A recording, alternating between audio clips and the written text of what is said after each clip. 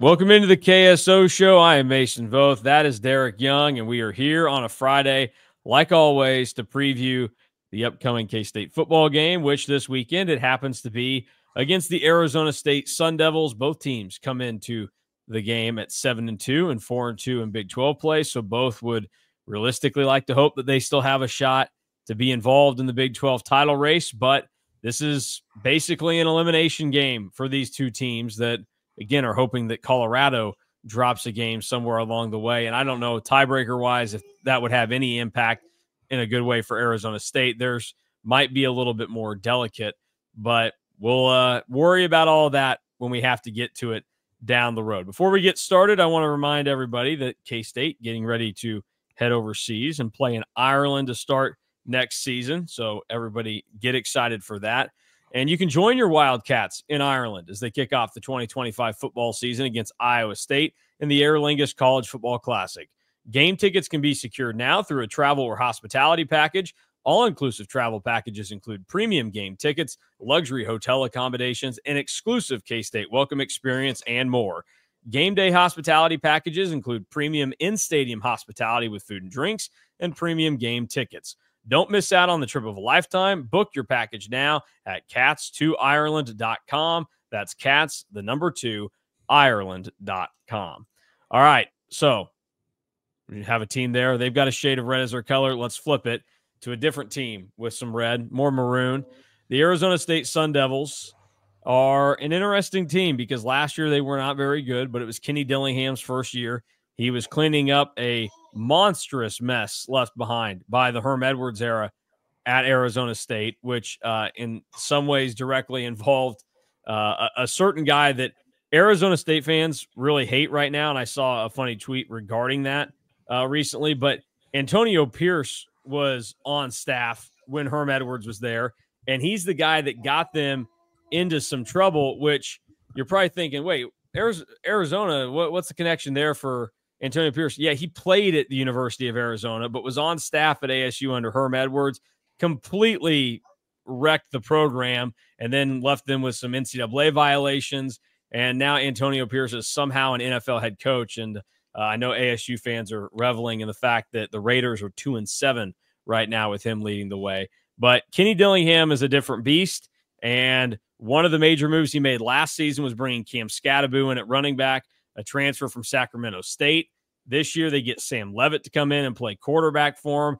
And that has really changed things. They're just a more competent team, and they found ways to win games and take care of business against really bad ones. And K State will have to be ready uh, on Saturday night because, in some ways, this is a team that's going to be pretty similar to K State. Arizona State wants to run the ball, and their defense is really good at stopping the run, just like K State. Yeah. Uh, now, I have a lot of respect for Arizona State the way that they're getting things done. They're winning a lot of close games. They're, I think, all seven wins are by a touchdown or less. To be quite honest, I don't think they've ever gotten away from anyone. Um, losses to Tech and Cincinnati. They just kind of take care of their business the right way. Uh, they play like a mature team. You said competent. That sounds about right. They have a just a winning football approach my questions about them are probably more schedule based than anything. Uh, they haven't beaten any Power Four team with a winning record. I think the only team with a winning record that they have defeated was Texas State, and that was not by a lot of points. Um, there, some of their rush defense numbers, as you said, look good, but they've also haven't played a ton of good rushing offenses, and when they did, they were exploited. exploited, excuse me. RJ Harvey ran all over them last week, and Devin Neal now didn't get the ball enough. Only 12 or 13 carries, I believe, but Devin Neal ran for over five yards a carry.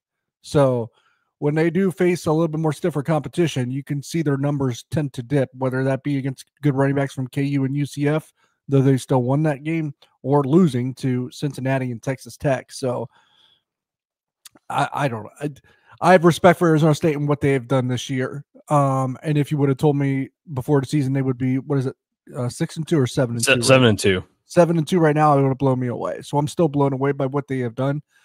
But when now that I have the context of what some of those teams have become, um, a little less impressed, but they should still be proud of what they have done, considered what they have went through, what they are still dealing with, and it being rather a young program, um, at least uh, under Kenny Dillingham, who is a young football coach as well, with a bright, bright future and doing well for his alma mater.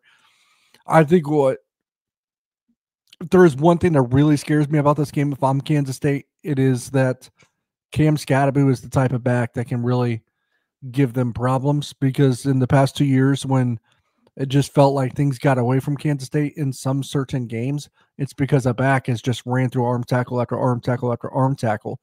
And uh, that's the bread and butter for Cam Skattebo. Yeah, and there's also the added element that he's going to be involved in the passing game because he's a second leading receiver for Arizona State.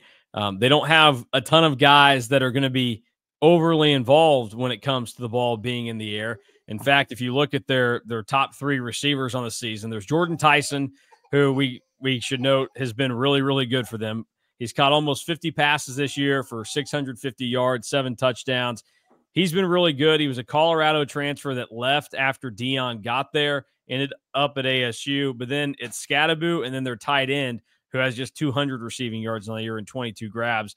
Big drop off after that uh, in their receiving game. So it really is what can Cam Skattebo do for us? And that really sets up everything else that Arizona State does with their offense. Uh, and then you, you look at, like you mentioned, the schedule is something to note and to think about what are you getting here? Arizona State can beat K State if K State doesn't take care of their business and doesn't do what we would expect of them. But this is one of those games where home game against the team that you should be better than. You have to win this game if you're K State. And we talk about the schedule variance this year, and we've noted how difficult K State's schedule has been. You look at Arizona State's, the only team that they've played, well, I guess you give credit to Cincinnati now. Cincinnati is still above 500.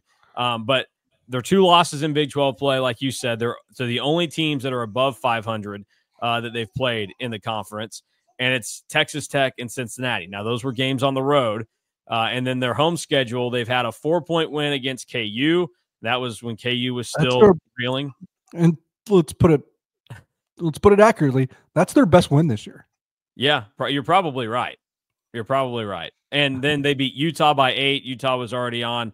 Well, that was actually the game where they tried having Cam Rising play when he was yeah. So they actually got the worst version of Utah because they got to play against that one. Yeah. I don't know. I think I think uh, a life support Cam Rising is better than anything else they've tried at quarterback this year. Uh, uh, well, maybe, but uh, well, the the kid last week was all right for uh, Utah.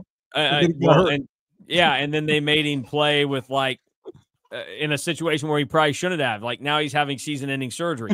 uh, so a lot of questions for the Utah athletic department right now. A lot of them.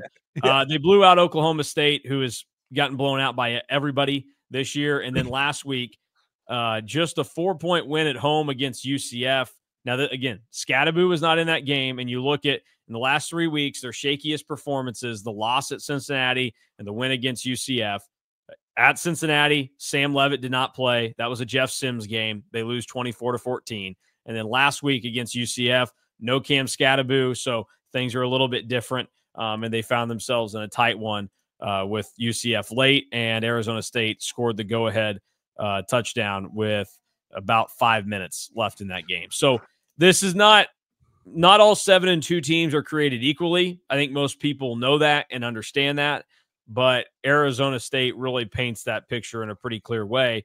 Even though I think they are a, a good football team, they just if you stack them up to how K State has played, this should favor K State. And that's why K State's an eight and a half point favorite at home against a team that has the same record as them. Three things here. Uh, I don't know how Arizona State scored as many points as they did last week when you look at the offensive numbers because their offensive numbers dipped a lot without Skattebo. So some people were like, man, they look they look at the score like they were fine without Skattebo. Yeah, you look deeper into the numbers, there were some issues. Two, Arizona State has told us exactly who they are this year. They will beat the bad teams and lose to everybody else and they're like, well, that they're seven and two. They haven't played many non-bad teams this year, so that that just is what it is. And then the third one is kind of what me and you touched on a while ago. Now I'll admit it's taken a little bit while to get there. But you just alluded to it in the last couple of games. It seems like they're running a little bit out of gas. Which that happens with teams that are kind of new sure. to all this. And you think about the pieces that they're having to use, like yep. Yep. Sam Levitt, this is his first real crack at this thing. Like he's he is a, a sophomore quarterback, um, and he played. And you go and look at, at last season as a freshman, he played in four games for Michigan State. He threw 23 passes last year. Um, the style that they play lends themselves to having to deal with injuries and guys being banged up at significant spots. And we know that everybody this time of the year is, but obviously in the last three games, their starting quarterback and their running back, their two best players have had to miss time, or most important players. I think Tyson would probably be up there with Skattebo as their two best. So there's that to watch for in this game. A couple of other notes on Arizona State, just for people to kind of keep in mind and how everything ends up uh, working out here. Um, I, I want to note on Skattebo, there's really no rhyme or reason to when he's had his good and bad games this year. His worst game, his two worst games of the season have come against teams that are like middle of the pack in Big 12 run defense, and his best games have come against some of the league's best uh, defensively. So it, really is more about Cam Skattebo will dictate how this goes. I know we don't want to talk about basketball today, um, but he's like a, a more consistent version of Cam Carter, where you're probably going to know early if it's his night, and you're probably not going to be able to do anything about it. And that's how I would look at that. Defensively, uh, for Arizona State, would note on this as well. Talked about the run defense. They're the third best in the Big 12 behind K State, about 3.6 yards a carry. Um, names to know Myles Rowser, one of their defensive backs. And then they have two defensive linemen up front that'll try and wreck things, and Clayton Smith and Jacob Rich Kangaika. And then Caleb McCullough is probably um, one of their better players on defense, along with Keith Abney. McCullough's a linebacker, Abney's uh, a DB. So those are some of the things to know. They haven't forced that many turnovers this year, though. Um, they're middle of the pack in picks in the league, and then they've only forced two fumbles all season. So you don't have to, uh, hopefully, worry about a weird DJ or Avery fumble that we've seen at different points this season that seem uncharacteristic. And probably the most important thing to know going into this game is that they are the worst kicking team in the Big 12. Kenny Dillingham made that very clear after their loss to Cincinnati when he called for walk on tryouts the following week at kicker. They are 50% on their field goals this year at 7 of 14. And their kicker, Ian Hershey, on kicks beyond 30 yards. This is not like, oh, 40 plus. This is 30 plus. From 30 yards and out, Ian Hershey is three of eight this season with a long of 47 yards. And last I checked, there's a little bit of wind in the forecast on Saturday uh, in Manhattan. So we'll see how that goes. They're also one of the worst punting teams in the Big 12 with K State, depending on which numbers you end up looking at. Yeah, K State is uh, kind of gets the benefit of the doubt on some of the special teams metrics when it comes to punting, just because I think, regardless, uh, obviously is shanked more than we would want to see, but I think what has helped uh, McClanahan with some of his numbers, and you can correct me if I'm wrong. I think he has downed a fair amount inside the 20. Yes, yeah, it's he's a he's a very boomer bust type of punter. Like eh, now his offense hasn't helped him out. He's had a lot of punts recently where his offense has been pretty backed up. They got to do a better job of It'd giving nice. opportunities. But when you're in those, there have been some borderline shanks this season too. So I think everybody's culpable in why K State's punting has been so bad. Yeah, and I know fan has uh, harped on this, and I've been harping on this, and I don't think it's being talked about enough, just generally in the Kansas State universe. But like the the field position uh category, battle, whatever you want to call it, the net of just where Kansas State's average starting field position is compared to their opponents that they play. Whew. Um, pretty sure it's almost last in the country.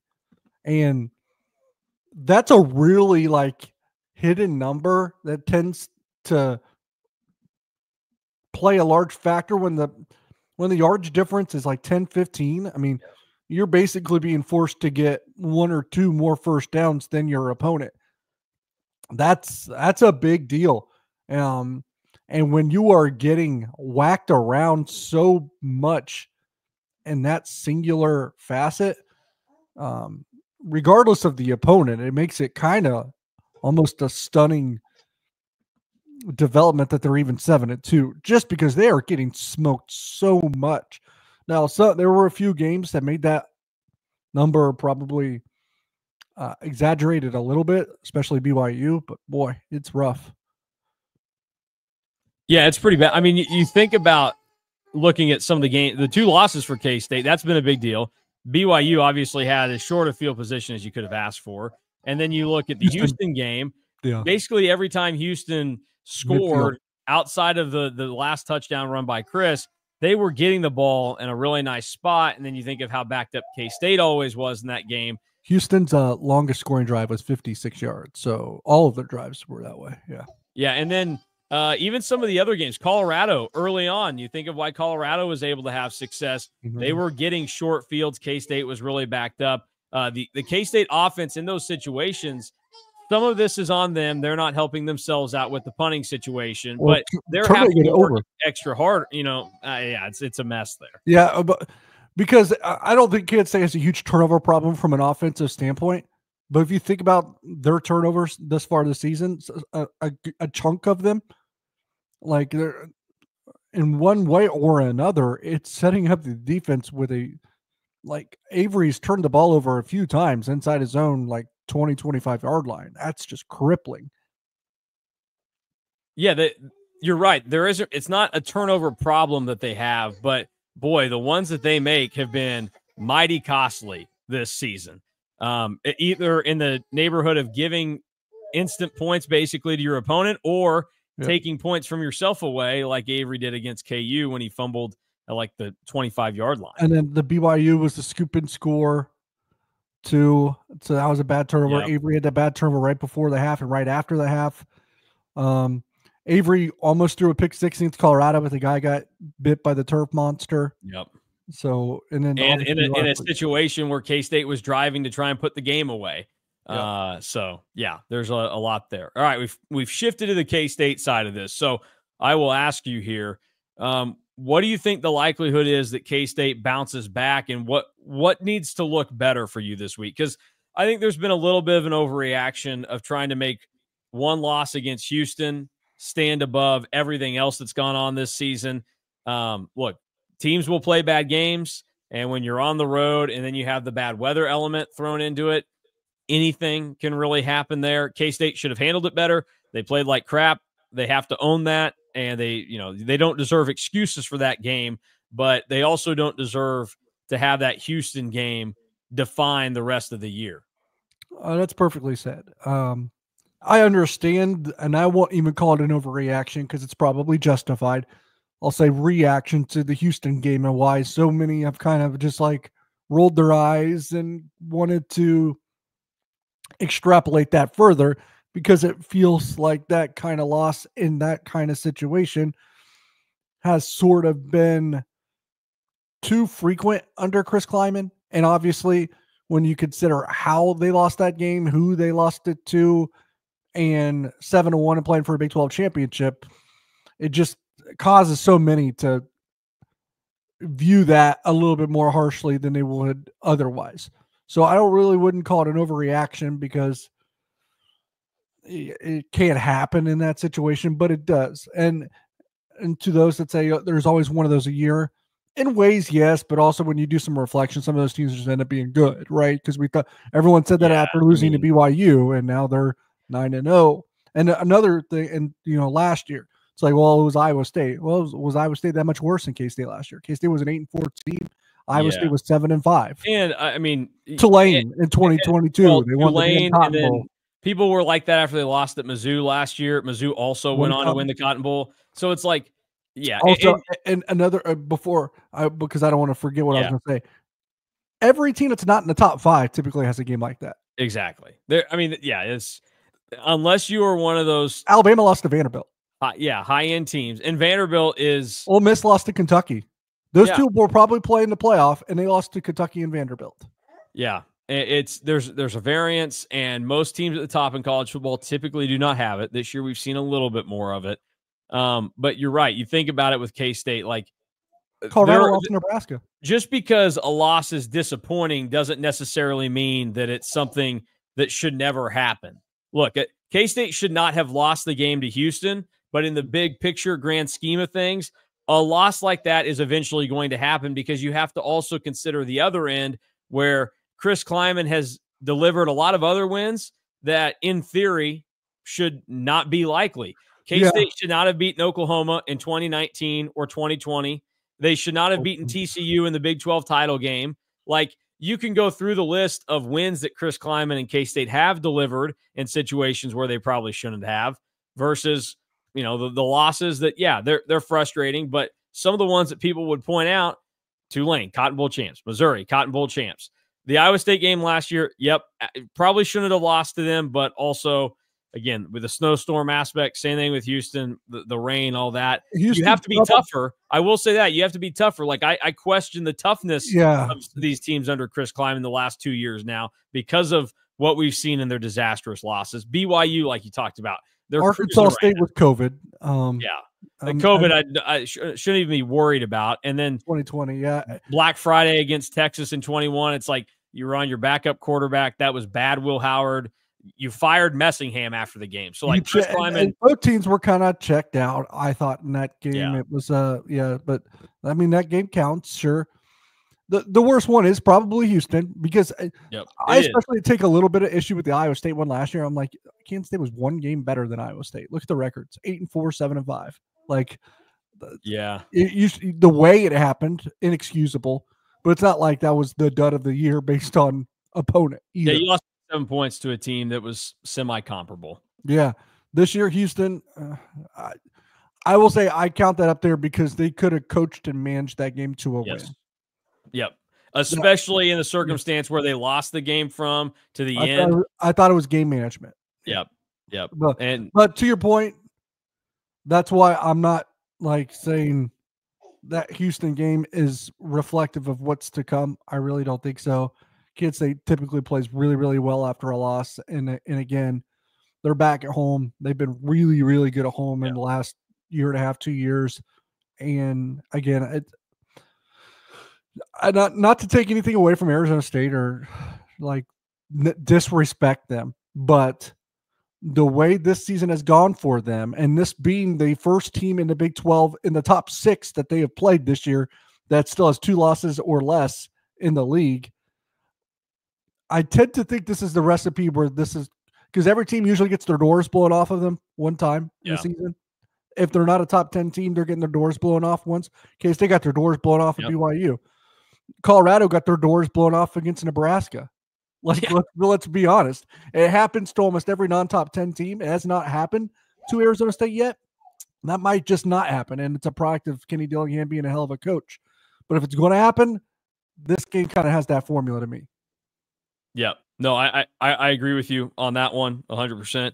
And you you look at the last couple of years at home with K State and Chris Klieman, they've been really good. And basically, if you aren't uh, a top 10 team or whatever, mm-hmm. um, they've handled you in a pretty nice way. I mean, KU is the exception this season for the most part, but right. Arizona and Oklahoma State got blasted this year. Um, you go back to last year, until the Iowa State game, you didn't see a close game in Manhattan Houston, last year. TCU, yeah, yeah. Um, it wasn't, and then you go back the year prior to that, the, it was, yeah, Baylor got blown out in in twenty three, but then twenty two, yeah, they lost at home to Texas in a one score game, but oh, you know they beat KU by that still ended up being like twenty some points.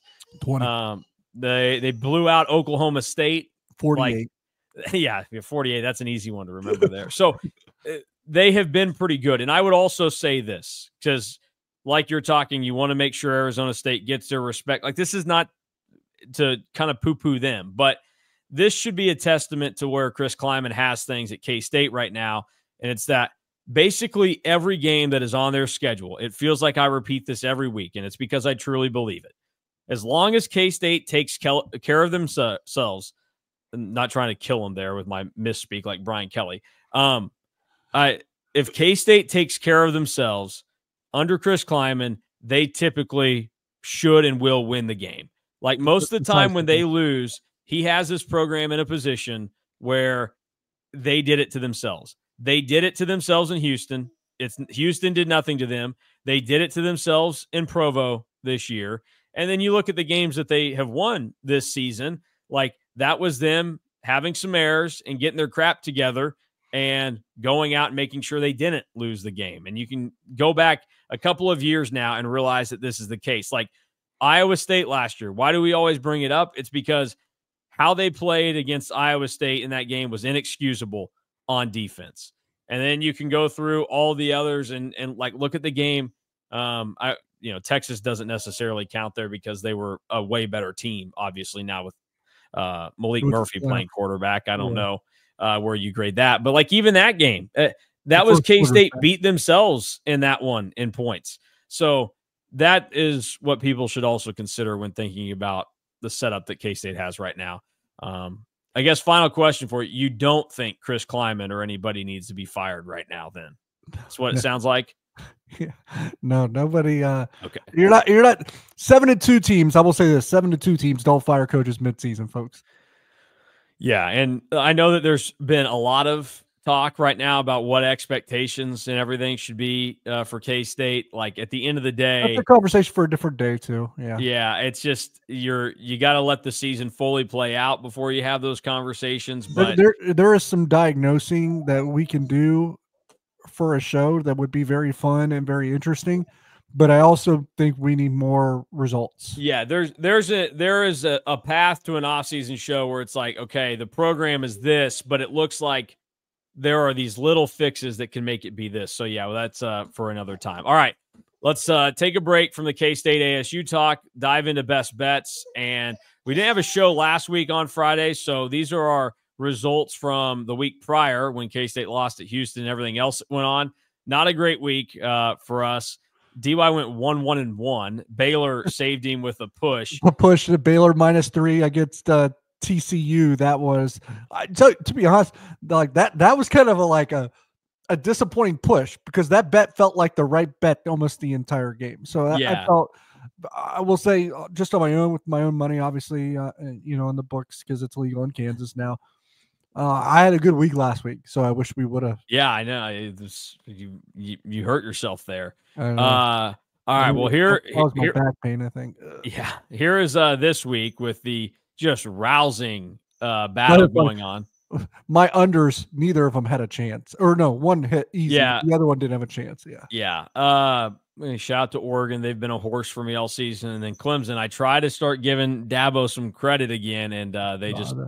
fell on their face. And uh, if you think that I'm done riding the Illini, you're wrong. I'm back this week. Uh, so look, I I went all Big Ten this week. Some pretty disgusting Big Ten games. I I I got I got I'm kind of. I'll be honest. I didn't love the board this week. There's not That's there not wasn't a, there there was a lot of big numbers out there. There wasn't well, like SEC usually there's four or five week. games. I'm like I am betting this game. I didn't find that this week. All right. Well, for me, uh, I'm starting the party tonight with Washington on Friday. If you're watching this, or if you're taking this in on Saturday before the game gets going, um, then you're going to know who they play. Who we play? Uh, they play UCLA at oh. home tonight. A little Friday night on Fox. I, I I like the bet, but the Bruins have been surprisingly competitive this year. Yeah, they're finding themselves right now. But uh, you know Washington helped yeah. out against USC at home, so I'm thinking, uh, what do you, you know, they're going to get this thing done. Yeah. Uh, Ohio State, I've got Will Howard there. They are playing at Wrigley Field this yeah. weekend against Northwestern. Will Howard three plus touchdown pass. Last I checked, it was plus 122. In Ohio State's last three games against teams that weren't the number three team in the country at the time, which was you know Penn State and Oregon. Uh, Will Howard has thrown at least three touchdown passes. So I'm thinking he has a nice and tidy big day quickly in Wrigley. And, they, and, no and then Devin Brown's probably finishing the game. Yeah, and they have no reason to run him against Northwestern, so that'll also help you. Why, why, why uh, flirt with disaster there when you're playing Northwestern? Uh, you like did did mention what I would scare me is not enough possessions for Will. He might only get on the field for six drives, and he's day's done. I'm not worried about it. Uh, I think he's going to go out there and, and deliver here. Uh, and then, I mean, I guess if you want to be soft, you can take the two touchdowns. That's fine. That'll be all right. Um, I, I did that against Penn State, and it worked out for me. Uh, okay. Illinois, I'm back on them. You know, I can't quit my Illini. Uh, I've been brainwashed by Alec Bussey, but they are minus two and a half at home against Michigan State. See, I, I, I try not to bet games where Michigan State is in because all hell breaks loose. They're weird. Like. Yeah. Um, I want UL Monroe having a good season. That's a big number. Twenty five, and they're playing Auburn. Like we, I don't know. Auburn is the, they what they got whooped by Cal this year. Like for Auburn to be laying 25 even against a, a group of five team that has a pretty good record is kind of weird to me. And the fact that didn't Auburn lose to New Mexico State in the spot last year? Yes, uh, Diego Pavia. Yeah, yeah. So I'll take UL Monroe in a points on a on a day where I didn't see a lot of games I loved. That one seems like a, a kind of a gimme. So because I said that. I mean, probably... that feels like a game that in the fourth quarter it's going to be like thirteen to six or something. Yeah, so I like that. So it sounds like you're going to, um, you're going to. I'll tell you. Yeah, you're going to tell me. Tennessee plus nine and a half. I, I, I think Nico is going to play, and I have, I kind of have questions about Georgia this year. Not questions like, oh, are they broken? But questions like. Uh, I think you might be the borderline playoff team that yeah thinks you are. To me, if if Nico plays and you know the the offense is just good Not enough for Tennessee, sensational, but yeah, but the defense for Tennessee has been really good this year, and Carson Beck has looked really really yeah, bad. Gonna, if anything about Georgia's broken, it's Carson Beck. Yeah, which again, you know, red flags here uh, on the Carson Beck front. I, I point this out. Um, I I worked in Wichita at a radio station that was a Fox Sports affiliate. So we had Colin Cowherd on for three hours in the middle of the day. Colin loved to talk about quarterback face. And he's just like, quarterbacks, they all have a look to them. All the good ones have a look to them. Um, very rarely do you see one that you go, mm, that, that guy looks like a linebacker or an offensive lineman. Uh, Carson Beck does not have quarterback face, but the biggest red flag of all, and I take this from the basketball side of things, what arm does Carson Beck throw with, DY? Right. Bingo. Uh, do you know which arm Carson Beck has all tatted up? Is it his right? It's his right arm. Um, think of great shooters in basketball history. Do you know what handedness JJ Redick was? Right. Do you know what arm he had all tatted up? Was it left? It was his left because uh, shooters don't mess with their shooting arm. Oh, and so you, you red flag to me that Carson Beck leaves you, the left this arm. this should be like a sports science episode or something. I would I would love this, but that you're gonna you know not touch the left arm, the one you don't need, but then the right one, the one you're slinging things with, you're putting you know random stuff, random ink or whatever into your arms. Yeah. A red flag to me. That's a guy that doesn't care enough about the game. So yes, I'm with you on Tennessee. I had another kind of semi joke about that too. And for just to preface, I have no problem with anyone that gets tattoos. You go crazy. I not, I don't. Not, my, I'm not a tattoo guy. I'm not a tattoo. I don't I'm not going for them.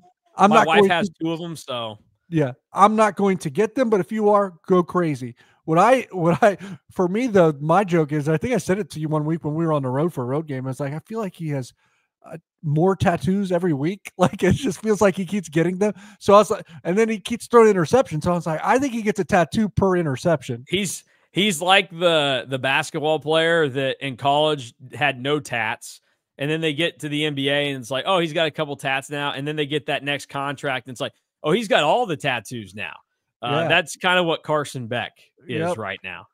Cincinnati, Iowa State under everyone's gonna be like, "What under?" Cincinnati has a really good passing game. Iowa State's defense hasn't stopped anyone in like a month. Uh, all of a sudden, they can't defend. But I think that could be a slower game. I do think Iowa State's defense steps up. I think they have a. This is a pride game for the Iowa State defense. Like I, I have a hard time thinking that they will play terrible. Yeah. Knowing was it Jim Heacock, John Heacock, whatever for you know for this long. Um, and Cincinnati has a good defensive front, so I give I, I have some respect for what they have up front, and Kansas State's gonna have to play that in about a week as well. So under 53, don't feel as confident about that one as I do the others, but uh, there, like I said, there wasn't a lot to like on the board this week. Yeah, I think if you're, I think if you're doing anything with the Cincinnati Iowa State game, that's probably the way that it plays out. Iowa State's just been really good at, for the most part, kind of mucking things up at home.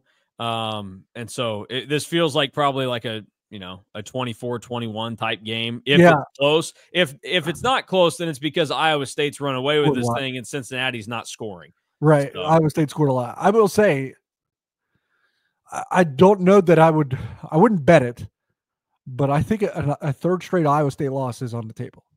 Uh, yeah i would not rule it out. Not at all.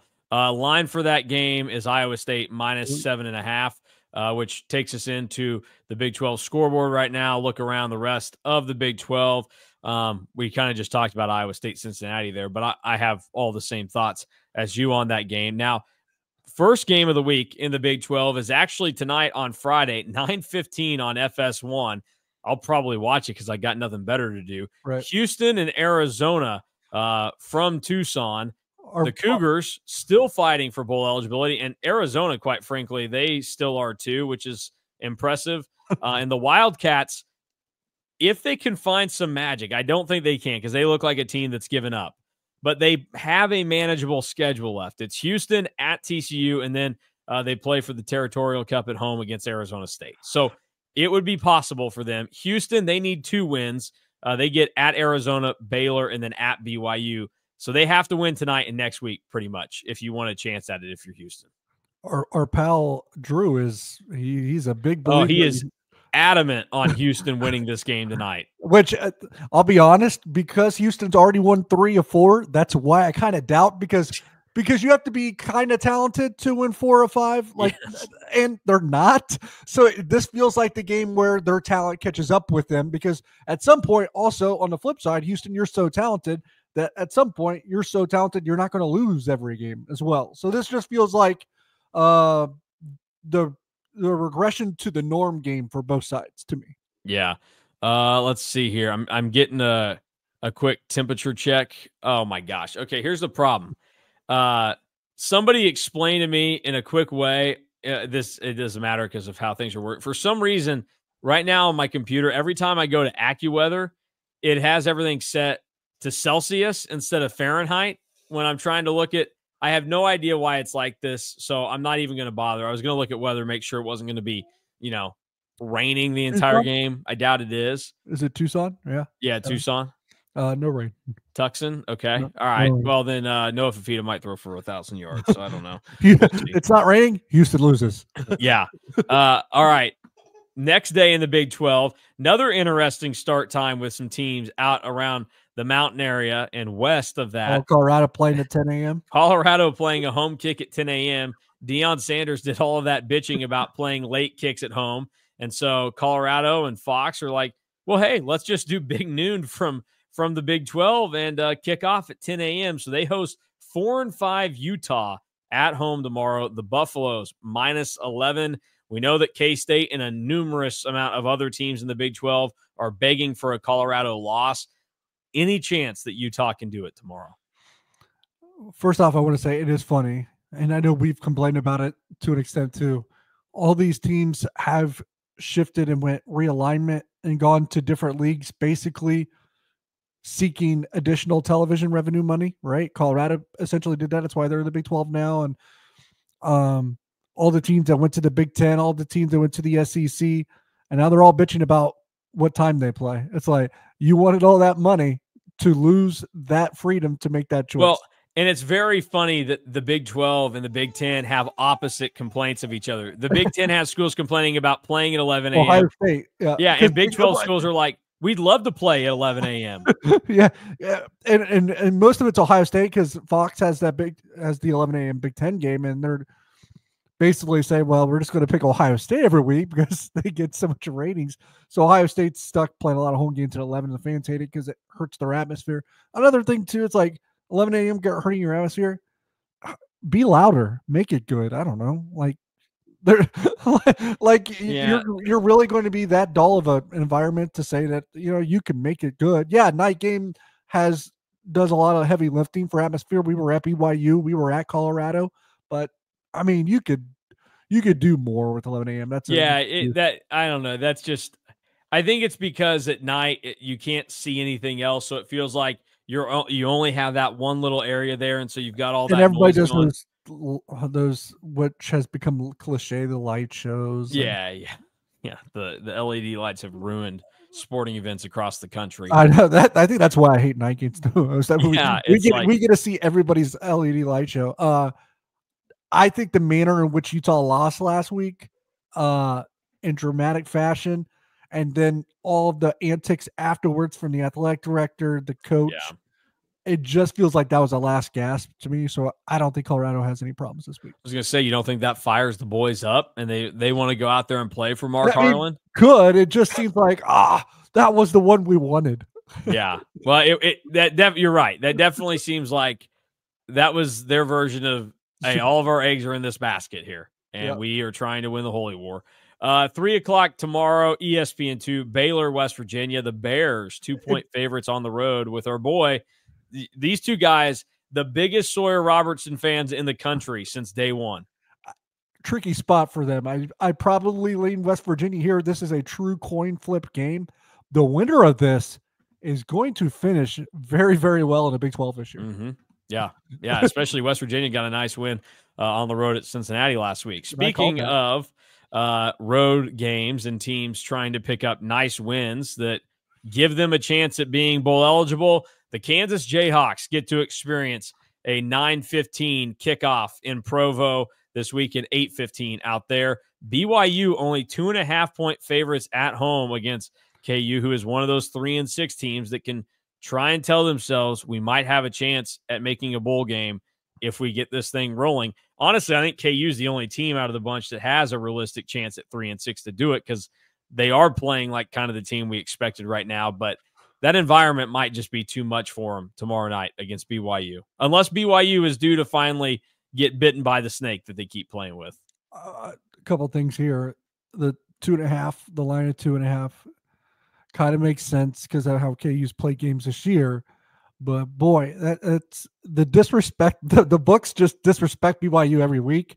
Uh, I would think, uh, and I, I, I, to a to a point, I get it because of how they do it is just not like how you're supposed to be able to do it.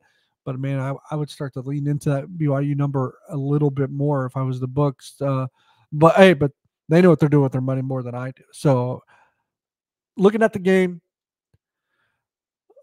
Kansas, they they still. I don't expect this to be a blowout. I do expect it to be close. And Kansas hasn't won a close game this year, so I just imagine they lose much like they've lost all year. Even the K State game in between their blowout wins over Houston and Iowa State was a game that they basically yeah. coughed away when Jalon Daniels fumbled in midfield, right? So it just feels like the way BYU wins and the way KU loses, like that, there should be a hellacious finish.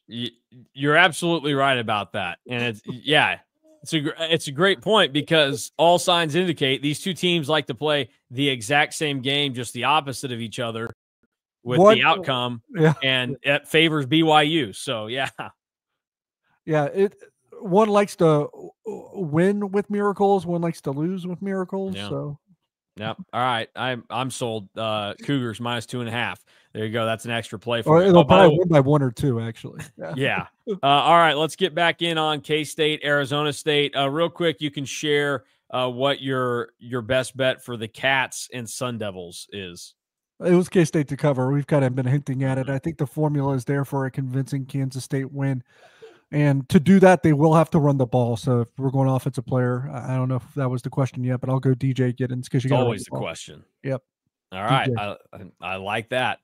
Um, let's see here. Uh, I was gonna I was gonna try and do something real zany for mine, but then uh, it was gonna involve field goals. I was like, Arizona State sucks at those. DJ Giddens so, rushing touchdown. Um, maybe. I mean, if you want to try and find some some value somewhere uh, to get a little bit crazy with it, uh, I I won't. I'm going to to look at this game as a situation where K State we we haven't seen the the tight end touchdowns as much uh, lately, so I think that it's gonna it's gonna pick back up. Um, give me Garrett Oakley to score a touchdown in the game at plus 220. I think that he finds the end zone against Arizona State. It feels like the right move, especially since the Sun Devils are so good against the run that when they get down there, they will probably try to sell out a little bit against the run. K State's offensive line has had struggles, um, but I, Conor Riley has been great all season at kind of baiting teams and getting those tight ends wide open. Now, in terms of who I think this game comes down to, I'm not as confident that the run game gets back going in a significant way for K State. So I think that this game is on Avery Johnson. When you come off a bad loss and you need to to get this thing moving in the right direction, no matter the age or experience level of your quarterback, they have to lead your team. Avery Johnson has to go out there, has to be clean, get things done, and set the tone for K State, which I think he can do because before the rain came down in Houston, I liked a lot of the way that he was throwing the football. You think maybe there were some misses there, but also he threw a touchdown on the first drive of the game, and Jayce Brown was running out of bounds for him. That cost them. He had a great touchdown throw to Keagan Johnson in the game. He had some other passes that were really precise and nice. I like the way things have been going with Avery Johnson, but he's got to carry K State out of a bad loss and uh, take care of Arizona State at home. So give me Avery Johnson if the Cats get this thing done.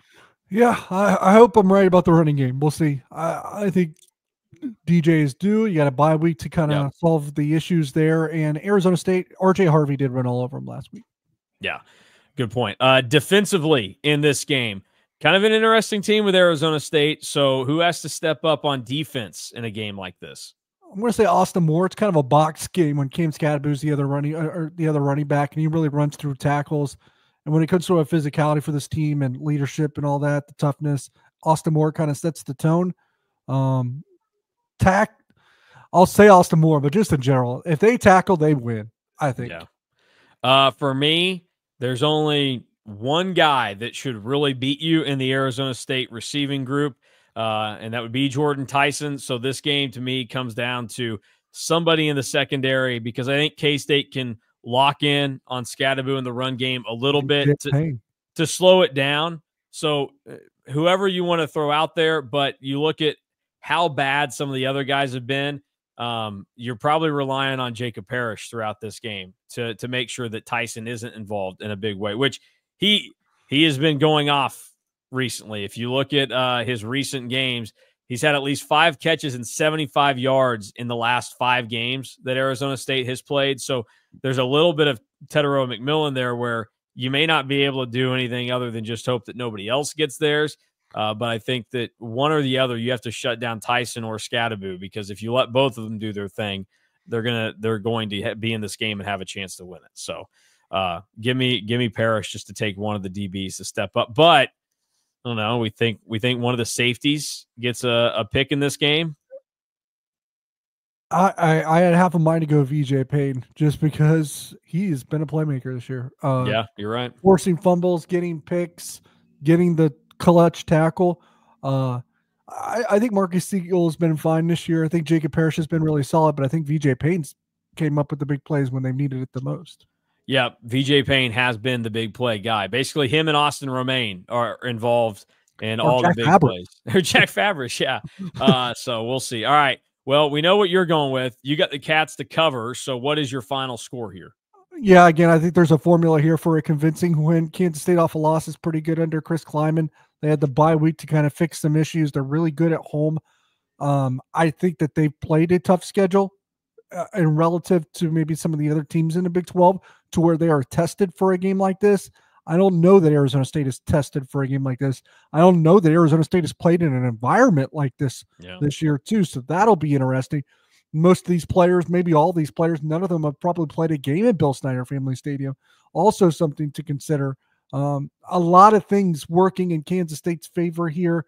Arizona State, not only do I think their record is kind of a product of who they have played this year and who they have not, but I think some of these metrics, when we're saying, well, maybe they're a good run defense or maybe they're a good run offense, is also a product of who they have played this year. So some of those are inflated. And I think I think everything comes back down crashing to earth. Like I said, usually if you're not a top five or a top 10 team in general in college football, you're always going to have one dud a year. Arizona State hasn't necessarily had that dud, even though they lost close games to Texas Tech and Cincinnati.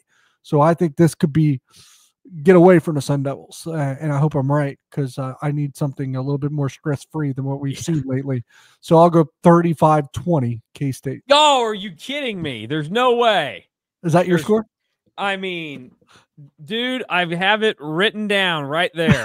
I, have had this written down since I did Power Cat Game Day on. Let's Wednesday. uh, we can go to the books and pick exact score, right? Oh yeah, there you go. That's the that is the new official best bet of the week on KSO. Uh, 35 to 20 uh, with a missed PAT from Arizona State. Yes, and I think not kicking field goals. And I think it's a late Arizona State score. I mean, I think it might be like 35-14 yeah. they score at the end of the game. Yeah. yeah. Uh, and then do the analytics play and they go for two and don't get it. So Yeah, that could be it uh, too cuz Kenny Dillingham would do that. Yep. Uh yeah, I look, I, I'm I'm really in line with the logic you have in this game. Um, you you look at all what you talked about. The toughest road environment they've played in this year was their game at Texas Tech, um, and that game. Look, uh, the Lubbock environment. That every time I've been there, and I've been there multiple times now, has been pretty underwhelming. And I've been there for it, night games, so they play there at a two thirty in the afternoon when and when Texas Tech was like struggling. Like that wasn't Texas Tech getting things figured out yet. Yeah, and, and it's also and again, this sounds like disrespect. It's not meant to, but if you're a tech student or a lifelong tech fan and, you, and you're like Arizona State's coming to town, you're like, oh, this is the one we get up for. That's not it. Yeah. Uh, and then a couple of other things to try and make you feel better. Probably the two most comparable running teams to K State that Arizona State has played this year. Um, Texas Tech started, Tahj Brooks ran for 117 yards on them. Only 4.3 yards a carry. He had 27 of them in the game, but still decent day. KU had a nice night running the football. Devin Neal was 14 for 71, averaged over five yards a carry. Daniel Hishaw was 10 for 48. Jalon Daniels added some in there as well. Uh, and then, like you just said, UCF last week um, had a strong night. RJ Harvey was 25 for 127 and three touchdowns throughout the game. So you have that they have struggled against the better running backs in the league this year. And Sam Leavitt, if we're talking about the environment that they're about to play in, he played in four games at Michigan State last year. Three of them were at home against Maryland, Michigan, and Nebraska. The only road game he played in was a 15 point loss in Minnesota. That's where he attempted his most passes last year as a Michigan State quarterback. He was 8 of 12 throughout. So he absolutely has not played in an environment like Bill Snyder Family Stadium at night. All the reason why we already talked about it because DY stole my pick, but the Cats are going to win this thing 35 to 20. As long as they, as long as it doesn't pour or snow and they don't play like idiots. Those are the three caveats with K State football. If any of those three happen, then Arizona State could win this game. It feels like, yeah, I would say it feels like more like Arizona and Oklahoma State than it does K. It's a good way to look at it. All right. I was trying to look at the last few home guys. Like, man, K State hasn't played at home very yeah, much. Yeah, know the it's it's really it's it's a weird schedule this year that K State has played. I was like, uh, where's the home games? Yeah, no. yeah, we've we've only seen four home games and they've been spread out by like a month every time that they've been played. So uh, yeah, we'll we'll see how it goes for K State tomorrow night. We'll have full coverage for you over on On Three, K KStateOnline.com with all the written stuff leading up to the game, during, and after. And then you can also head over to the KSO YouTube page where we will have the instant reaction and immediately have Chris Klieman's post game press conference up for everybody as well. And if you want to get into what happened in basketball last night, we have a bunch of content from that also. So, that will do it for us today. For Derek Young, I'm Mason Voth. Thank you for listening and watching the KSO show. We will uh, be back again next week with a, a loaded slate of everything as K State heads into the home stretch of the football season. Also, a Sunday show coming your way this weekend. So we are out of here. We'll talk to you again tomorrow.